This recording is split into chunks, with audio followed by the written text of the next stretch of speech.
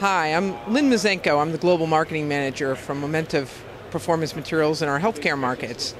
I'm here at the MDM West show in Anaheim, California in 2010, and I'm happy to tell you about one of our really innovative LSR materials.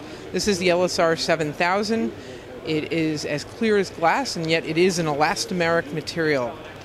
It has improved transparency and haze reduction versus standard LSRs, so it can be used in applications where materials like glass and other very clear thermoplastics have been used traditionally, but this material is, is a true elastomer, so it provides an additional set of functional requirements and design functionality that is not available today. It really is a revolution, and we think it's going to be very well accepted in the electronic and particularly the medical electronic um, uh, design community.